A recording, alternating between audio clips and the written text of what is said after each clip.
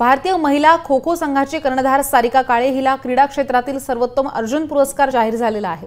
पाच लाख रुपये आणि पदक असं ह्या पुरस्काराचं स्वरूप आहे. अर्जुन पुरस्कार पटकावणारी सारिका ही बहुधा मराठवाड्यातली पहिली महिला क्रीडापटू असल्याचं सांगण्यात येत आहे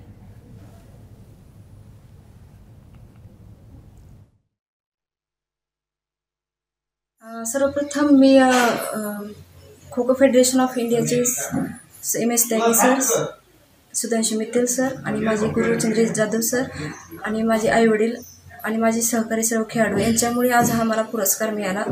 त्यांचे मी खरंच क शब्द नाहीत त्यांचे मी शब्दात व्यक्त करू शकत नाही. आज मला एवढा हा आनंद झालेला आहे. आज बघायला गेलं तर आज मी दोन हजार पाचपासून ते आज तागायत मी हा खो खो हा खेळ खेळते.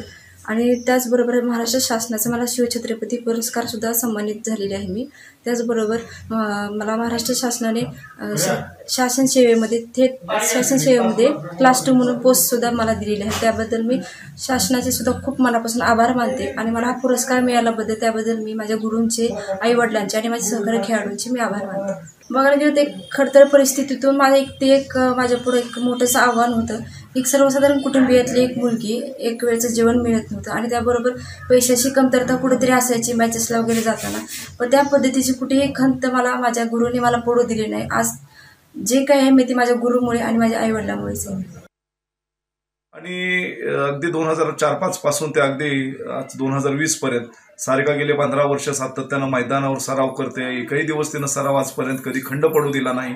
आणि आज जो तुला सारिकाला पुरस्कार मिळाला आहे ते तिची जिद्द चिकाटी मेहनत आणि सातत्य याच्यामुळे आज तिला पुरस्कार मिळालेला आहे. आज एक मी प्रशिक्षक म्हणून तिचा पंधरा वर्ष म्हणून काम करतोय.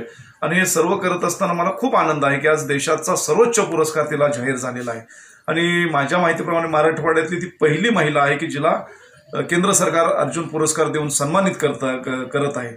आज सारिका महा उस्मानाबाद जिल्ह्याचीच नव्हे तर पूर्ण देशाचं एक लौकिक आणि अभिनंदनास पात्र ठरणारी एक महिला ठरलेली आहे.